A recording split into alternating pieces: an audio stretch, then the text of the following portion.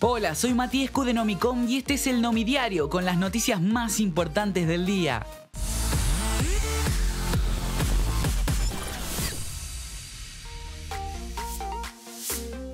Spider-Man Miles Morales presenta el traje de Spider-Man, un nuevo universo. Sony e Insomnia continúan brindando nuevos detalles del superhéroe que llegará a PlayStation 5 el próximo 12 de noviembre acompañado del estreno de la consola. Les recuerdo que en Argentina su fecha de lanzamiento es para el 19 de noviembre. En esta ocasión presentaron un nuevo traje de Spider-Man, un nuevo universo, la exitosa película de animación que se estrenó en el 2018 y causó una gran aceptación no solo en la crítica especializada, sino también en los fans del arácnido. A través de un video pudimos conocer el atuendo capturado en una PlayStation 5. Además mostraron cómo lo luce Miles Morales durante algunos momentos del combate contra enemigos. Este traje estará disponible junto al resto de incentivos si reservamos cualquiera de las ediciones del videojuego con el traje pista, 3 puntos de habilidad extra y artilugios novedosos. Si ustedes se están preguntando cuáles son las ediciones del juego, les cuento que podrán comprar una versión estándar que trae el juego completo tanto para Play 4 como para Play 5 y si no, está la edición Ultimate, que además del juego de Miles Morales, incluye Marvel Spider-Man remasterizado, una versión mejorada para la nueva consola.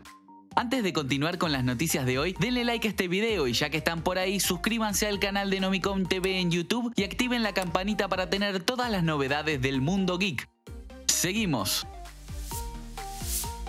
Genshin Impact, actualización 1.11. MiHoYo, el estudio chino creador de este título que se convirtió en un éxito a nivel internacional, recaudando unos 250 millones de dólares en el primer mes, anunció que el próximo 11 de noviembre se lanzará una nueva actualización llamada A New Star Approaches, la cual llegará con cuatro nuevos personajes, Tartaglia, Songli, Xinian y Diona.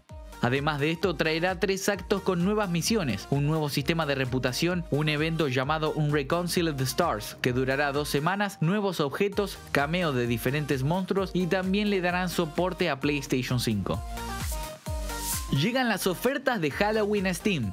Desde hoy hasta el 2 de noviembre, nuestras billeteras van a temblar porque en la plataforma de Valve empezaron las ofertas de Halloween. Algunos de los videojuegos destacados que recibieron grandes descuentos son Devil May Cry 5, desarrollado por Capcom de género hack and slash por un valor de 412 pesos argentinos. También encontrarán a 109,99 pesos argentinos el juego de supervivencia, horror y sigilo de Sega, Alien Isolation. Además, con descuento podremos encontrar Little Nightmares, un título de suspenso y resolución de puzzles que podrán adquirir por tan solo 44,99. También está en oferta Call of the Cthulhu a 359,99 y el popular juego de terror cooperativo Phasmophobia a 152,99 pesos argentinos.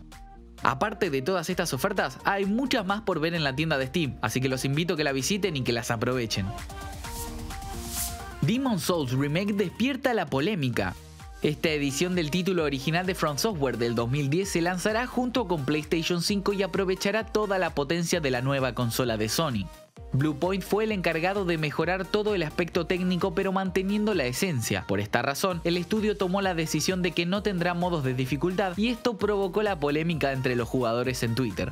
Una de las características principales de los juegos de Front Software es que son extremadamente desafiantes, donde para vencer a los jefes tenemos que elaborar complejas estrategias teniendo en cuenta nuestros movimientos, la capacidad física de nuestro personaje, su arma y muchas más cosas, todo esto en cuestión de segundos. Por esta razón es que hay jugadores que creen injusto que el juego no tenga modos de dificultad, porque lo convierte en inaccesible a una gran cantidad de jugadores casuales y no tan hardcore. Por otra parte, tenemos jugadores que opinan que es propio de los juegos Souls, cuya esencia es la superación de obstáculos que parecen imposibles y te invitan a no rendirte jamás. ¿A ustedes qué les parece este nivel de dificultad? Déjanos tu opinión en la caja de comentarios.